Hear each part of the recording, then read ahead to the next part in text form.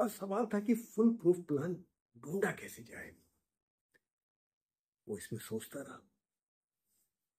आखिर उसे अपना एक दोस्त मिला, जो इंटेलिजेंस एजेंसी में काम करता था।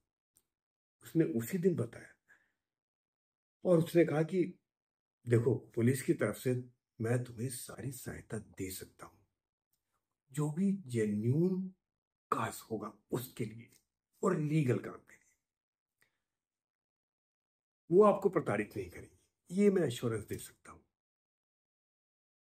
आप लोगों को तैयार होना पड़ेगा, शादी करनी पड़ेगी और फिर जाना पड़ेगा। बात कुछ समझ में आई? ढूँढने लगे। आर्य मंदिर में गए, वहाँ देखा कि हाँ शादी तो जल्दी हो जाती है। रजिस्ट्रेशन नहीं होता है।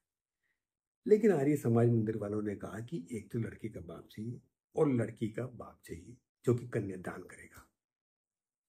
यानी उसका अरेंजमेंट कर लिया गया। दोस्त ने एक प्रोफेसर को ले आया जो जानता था दोनों को। और वो तैयार हो गया। लड़की के पिता के लिए प्रीत की एक सहेली थी। उसके पिताजी तैयार हो गए। जब उसके पिताजी तैयार हो गए तो फिर लगभग मामला काफ़ी सुलटा हुआ था। शादी की डेट फिक्स कर दी गई।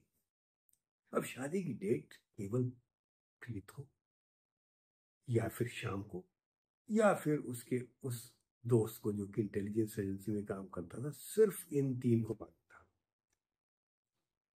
आइडिया था कि भाई, खबर की भनक कहीं इनके घर वालों तक नहीं पहुँची थी जैसे ही खबर पहुँची, इसका स्कूल से आना जाना बंद और सारा काम सीक्रेटली कर दिया जाएगा।